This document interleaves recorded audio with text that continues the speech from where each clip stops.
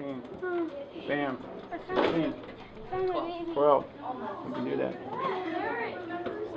17, zoom.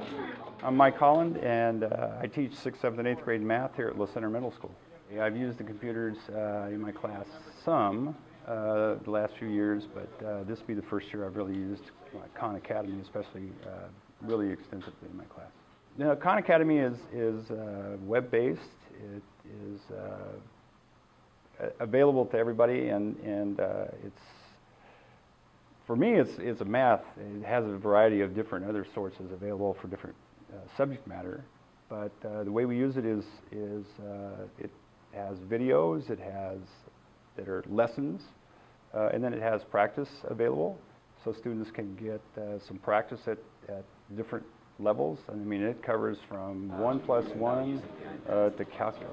And so for us at the middle school level, it really covers what we uh, would cover really well.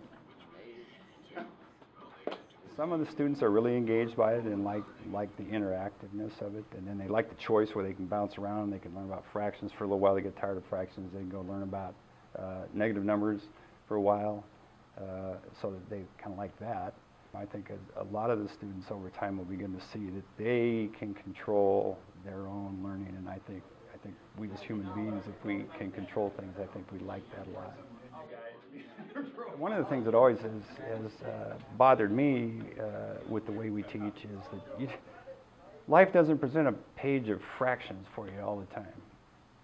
Really. I mean, how many pages of fractions have you done the last week?